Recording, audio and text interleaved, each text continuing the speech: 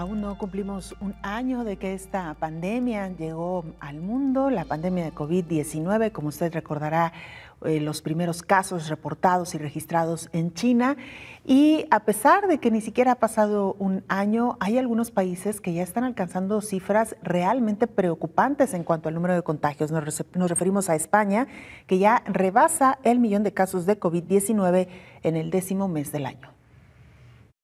España rebasó el millón de casos de COVID-19 en el décimo mes del año. Ahora es el sexto lugar a nivel mundial. Este país llegó a un millón cinco mil doscientos noventa y cinco casos, de acuerdo con el Ministerio de Sanidad. Ahora los primeros 10 lugares en contagios son los siguientes: Estados Unidos, India, Brasil, Rusia, Argentina, España, Francia, Colombia, Perú y México. El ministro de Sanidad, Salvador Illa, dio a conocer en el primer Congreso Virtual de la Sociedad Española de Epidemiología que será creado el Centro Estatal de Salud Pública para ampliar la capacidad de identificar, evaluar, comunicar y responder adecuadamente a las amenazas y riesgos derivados de posibles enfermedades o pandemias como la de COVID-19.